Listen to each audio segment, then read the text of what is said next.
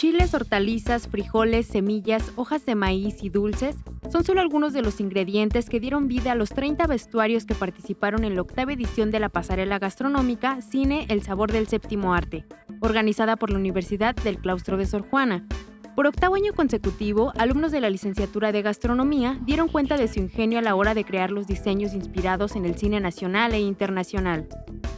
En el desfile destacaron atuendos basados en películas como Alicia en el País de las Maravillas, Naranja Mecánica y Frida, cuya elaboración requirió de mucho esfuerzo y varias semanas de trabajo. Los diseños confeccionados con productos comestibles y utensilios de cocina, que resultaron ganadores, fueron premiados con dinero, viajes, productos de cocina y un intercambio estudiantil.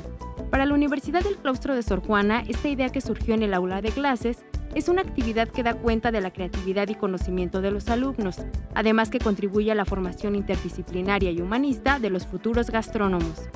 Para Alimentar TV, Marlene González.